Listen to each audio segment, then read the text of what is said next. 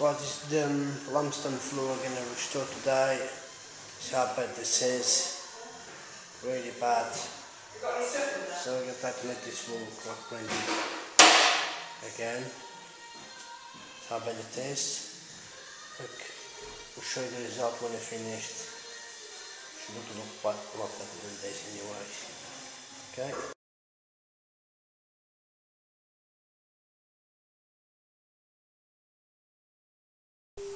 Right, this is the floor we just finished to restore.